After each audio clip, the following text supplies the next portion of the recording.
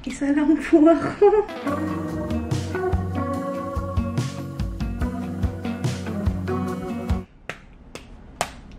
Hello and good morning, friends!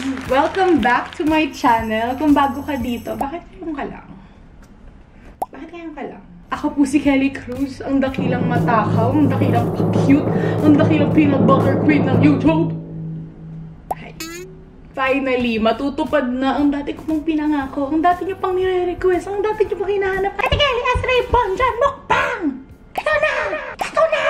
You know the drill. Sabayan niyo na akong kumain, friends, at tayo na mag mukbang! Bak, bak, bak! Ay! Hindi ko pa nasisimulan pero alam ko na agad na ang sarap! So what I have here today, let's start from the middle. Meron ko ditong two-piece chicken, yangyong flavor, pati soy garlic, my fave. Ito naman, ay, ito naman, First time kong matatry yung kanilang spicy chicken chops na burger. Wow! Sabihin nun excited. Ito naman, nag-order din ako ng 4 pieces nung mandu nila. May toothpick kasi alam nilang palagi ako nagkakatinga. Ang galing, ang galing. May toothpick kasi spicy siya. Para daw ano, babala, ganun. Nag-order din ako ng bibimbol nila. Hindi ba dapat may sauce tong kasama? Kasi itong sauce na to, alam ko ito yung yang yung para dito. Sinilip talaga. Hukay-hukay. Ayun, nandun yung sauce sa loob. Ito naman, nag-order ako ng chapchae nila, which is made out of glass noodles and, um, mm, yun lang kasi talaga alam ko. Meron na akong side na fries and signature iced tea nila. Lasang ang pirma.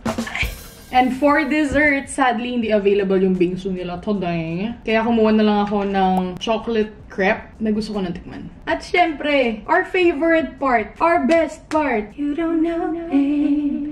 Hindi pwedeng mawala sa Kelly Choose video, ang peanut butter. It was gifted to me by Ate Ayan, girlfriend ng kuya ko. Sana all. Ang peanut butter ko ngayon ay the original Nanay Pasing peanut butter. This is my first time trying this. So, Nanay Pasing, show me what you got. Ang first bite ng mukbang na to ay ibibigay natin sa chicken chops. Beef test!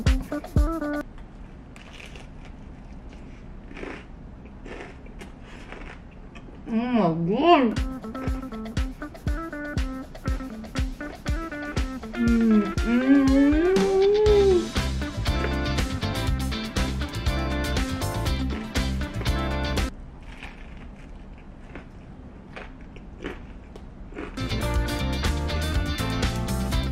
Sobrang sarap din. At yung bread nila, mm, pang oh my god! Ba't ngayon ka lang?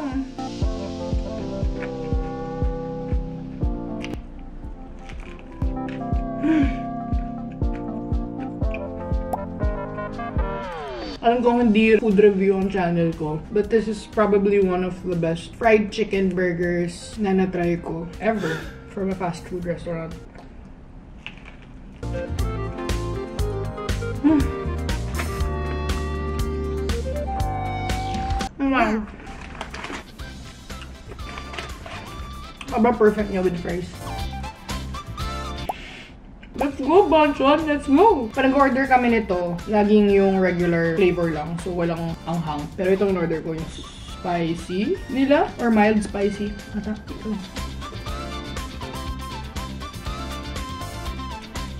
Hindi ko talaga sa yung spice. This is how it looks like.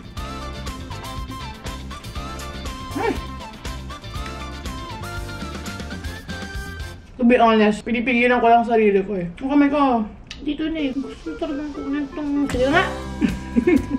Pipigil yarn. Fresh peanut butter jar. The smell of heaven.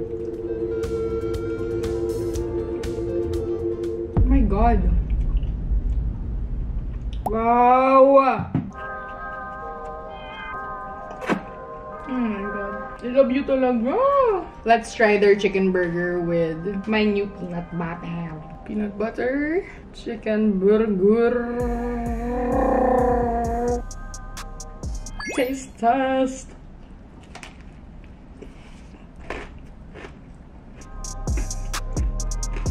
Oh my God.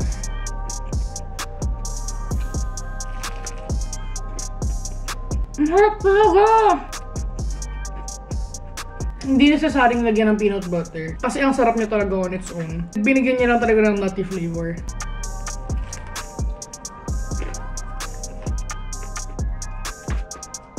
Hmm. Next, itong chapchae nila with peanut butter. Pigilan niyo ako, pigilan niyo ako. Taste test. Mmm. Bonson, binibigyan ko na kayo ng idea. Pwede nyo ng peanut butter to. Thank me later. Dali. Ayan na nga. Kailanganin ko na po ang toothpick. Taste test. Kahit na-taste ko na to.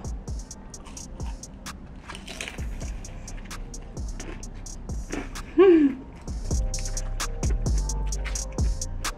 Yum. As usual. Sarap.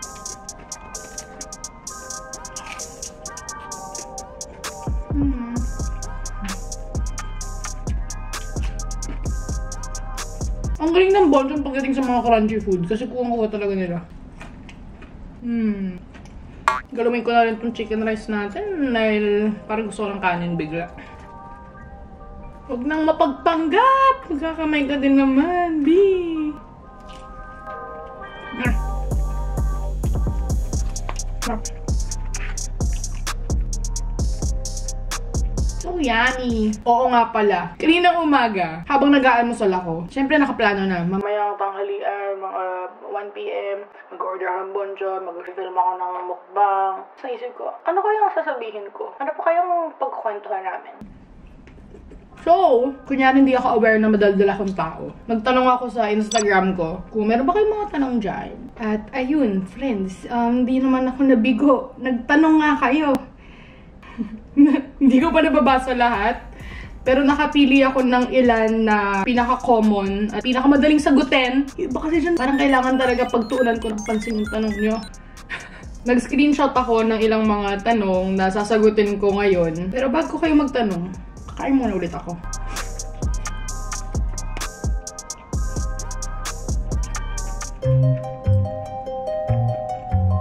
Parang ginawa kong tablet yung buto ah.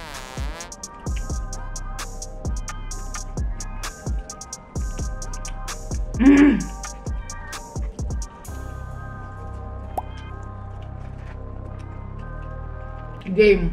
First question, ilang taon ka na? 24 years old na ako. Hindi ko lang kung mukha akong 24, sana hindi. Pero at the same time, sana hindi rin ako mukhang bata. Ang importante sa akin, mukha akong naligo.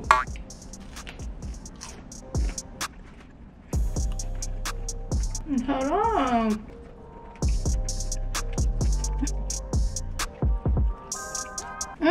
May ginto pa pala. Isa-isa lang, isa-isa lang kasi. Peanut butter or Nutella?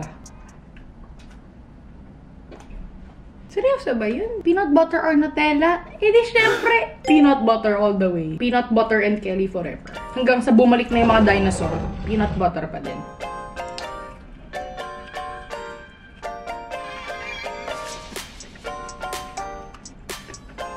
Hindi ko pa ata ito nagagawa.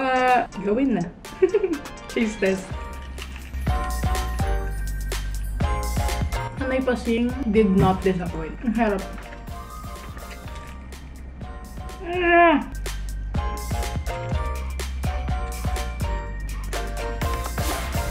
I love you, Bonjon.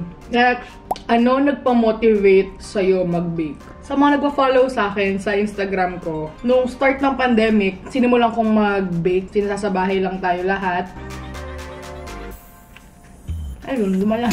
Nag-start ako mag-bake. I started with cookies, tapos naging cakes, tapos naging bread, naging cupcake. Ang kala niyo, puro kain lang. Hindi, ibibake ko, tapos kakainin ko din. Which gives me an idea. Pwede ko pala isama next time yung mga cookies ko. Meron din ako pa ilan-ilang nakukuha mga DMs. Tinatanong nila kung binibenta ko. So, pwede naman siya maging business. Yung business na Kelly Choose. Kelly cookies. Hindi naman nag-isip doon, be? Na nakaulam. Mando na lang po ang ulam natin. Iniwan na ako nung manok.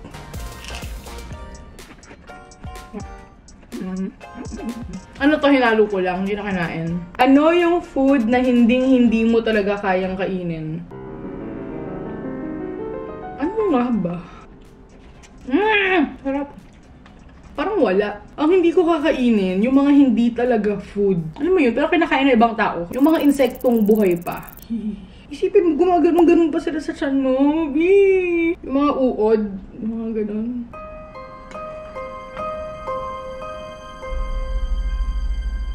Pas tayo dyan, mga friend!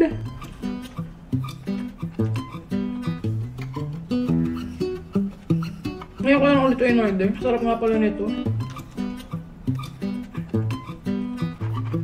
Hmm, I like this question. What is the first step in the process of loving yourself? Para sa akin, ang first step in loving yourself is accepting yourself.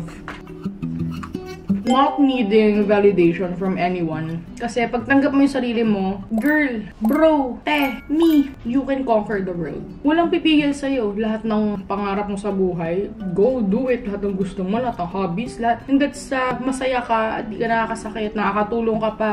Go, go for it. it's easier said than done. Lalo na ngayon na talagang exposed tayo sa social media, nakikita natin yung highlights ng buhay ng iba. It's so easy to compare what we have from what they have. Tapos we tend to gravitate dun sa side na ano yung meron sila na wala ako. But when you start accepting yourself, mas magpo-focus ka sa ano meron ka. At kung goal mo talagang mahalin pa ang sarili mo, you'd find a way to improve yourself and get to know yourself more para mas marami kang mapresenta sa sarili mo at sa ibang tao. The next thing you know, you'd just be proud of how far you've come and how much improvement you've made in your life tanggap kita. Tanggapin mo rin sarili mo.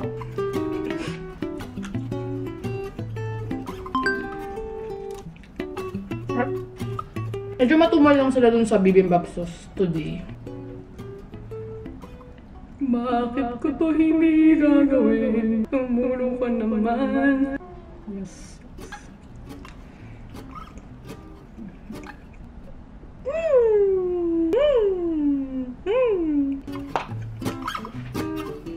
Hindi ko na-expect yun ah. Na talaga. Nanay Pasing number one. Ano kanya?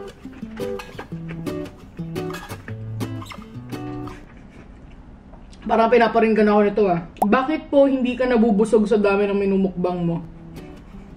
Alam nyo, may mga panahon din na ganito, di ba? Mag-film ako ng bang! Mag-order ako sa store o kaya sa phone ko ng kakainin ko. Pindot, pindot, pindot. Pagdating dito, kayak ba talaga yan? Pag ito, pag inon na tong kamerang to at umupo na ako dito sa kinauupuan ko ngayon, finish na! Pag nalagay ko na yung mga files sa laptop ko, pag i-edit ko na parang, Paano? Kaya same question. It remains a mystery. Hindi ko din alam eh. Matakaw talaga si ate nyo. Bata pa lang, to be honest. Takaw na, lalo na sa manok. Naku po!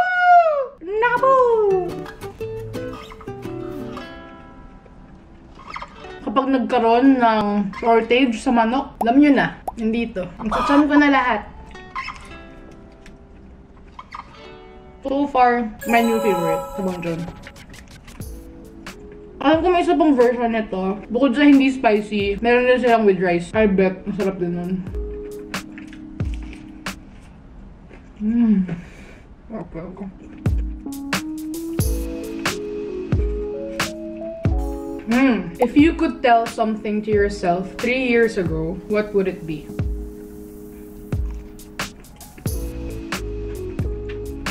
Sa mga nakaload sa inyo ng comeback video ko, minention ko doon na the reason why I took a break was for my overall health, especially my mental and emotional and physical health. I admit that I was really struggling during that. Uy, English na yan! I admit that I was really struggling that time. Bukod sa nag-pandemic, feeling ko medyo na-disconnect ako sa tunay na sarili ko. So the thing that I would tell my past self would be to be easy on yourself. Kasi meron talaga mga time noon na nakakalimutan ko yung mga capabilities ko. I mean, I was doing my best at everything I was doing. Pero napag-iwanan yung ibang parte ng sarili ko. Nakalimutan ko magpahinga. Nakalimutan kong maging proud sa kung anumang achievement, big or small. Kaya Another thing that I would tell my past self is to rest and to take care of yourself. Kasi mahirap na, lalo na exposed ka tayo sa so many images, so much information, online and even offline. Ang daming nangyayari sa surroundings natin, nakakalimutan nating mag-pause. Okay ka pa ba? Nasa tamang landas ka ba? At ayun, if there's something na matitake away nyo from this video, it's put yourself first na hanggang umaapaw na kayo sa pagmamahal sa sarili nyo na magiging natural na lang na magbigay at magsilbi sa ibang tao kanina pa dangling dito eh. So, pour your heart into what you love. Be passionate about your dreams, your goals, your talents. And the next thing you know, opportunities will start coming to you. New ideas, new friends even. Putting yourself first is super worth it. I tell you, friends. Cheers to that.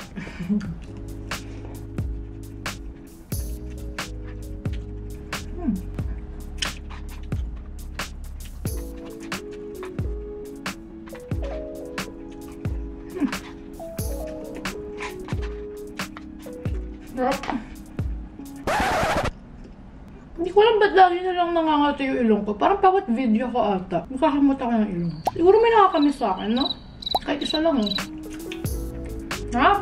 Babawas nga ako ng laman dito. Buto ko na lang yung tinitignan nyo, eh.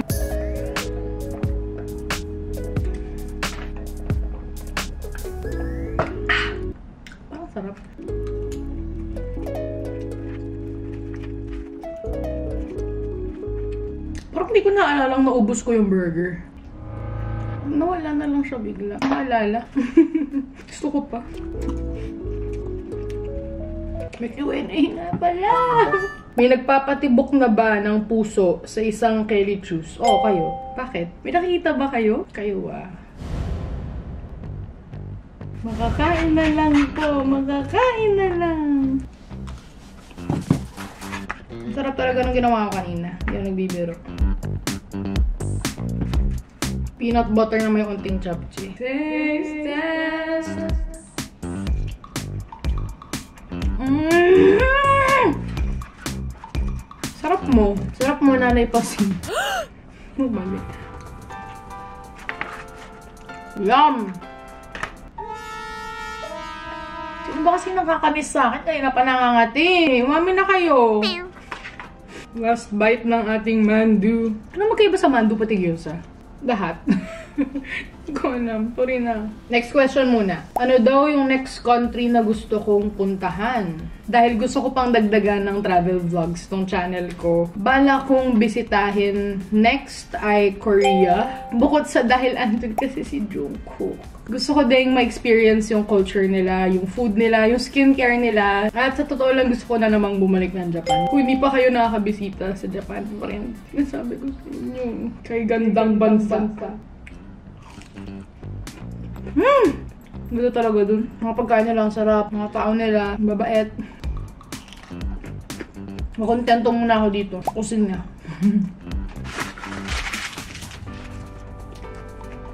Ako lang ba o nag-iba na yung tsura ng fries nila? Dati di ba parang orange to?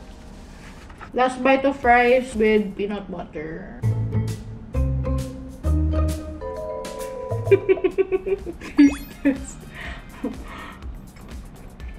oh my god, ba't ngayon ko lang ginawa yun?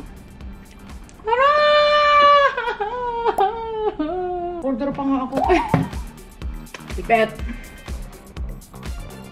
Last question and last food before I end this book. Nasaan na yung pagkain kanina? Tingnan mo. Ngayon, ito na lang, empanada. Ang tanong niya ay, bakit po ang cute-cute mo? Eh, bakit po ang ganda ng energy niyo? Nakakahawa po sobra? From time to time, nakakatanggap ako ng mga ganong tanong na, ano bang meron sa'yo? Bakit parang, walang ka? hmm, char lang. Alam mo, iyan ko muna ng spotlight tong chocolate crepe natin kasi, ay, hindi pa makakaabot sa bibig ko. Gusto ko makita yung loob. Ooh! Galing! Ngayon lang ako makakatikim ng crunchy na crepe. Ata. Hmm. Hindi ako makrep eh. So, ayun na nga. Bakit po ang ganda ng energy yun? Nakakahawa po sobra. Hindi ko kayang sagutin directly kung bakit. Kasi hindi naman ako fully aware. Bago ko ma-radiate yung energy na to, nanggaling din ako sa struggles. Nanggaling din ako sa self-realization, self-reflection. Nanggaling din ako sa mahabang proseso trying to love myself and trying to get to know myself. It's a collection of trial and error. It's a collection of making mistakes. It's a collection of Kaya ko pala yon. Ang galing ko pala dito. Siguro dahil doon, mas naging confident ako sa sarili ko, dumagdag ang self-worth ko, which equates to me believing in myself to the point na alam kong meron akong kayang ibigay, i-share sa ibang tao.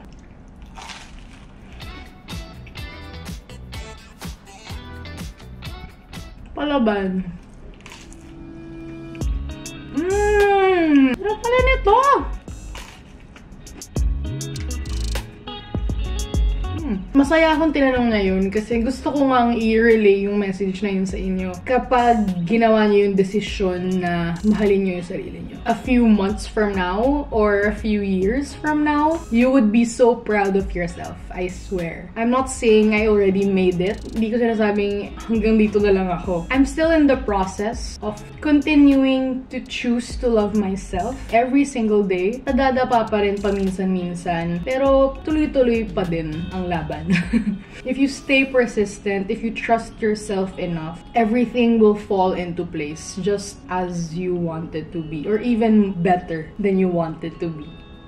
Kaya please lang, mahalin mo na sarili mo. Hindi pwedeng ako lang may mahal sa'yo.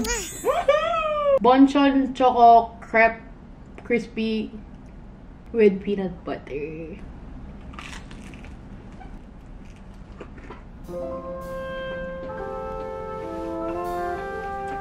Alam mo, kaya sana eh. Kakalat pa eh. Pero ang sarap. Ang sarap talaga nito. Hmm! Generous sila sa chocolate, which I love. Isa pa. Ang sarap talaga. Saan pa ba nakakabili nito? Dala niyo ko. Ay! Mmm!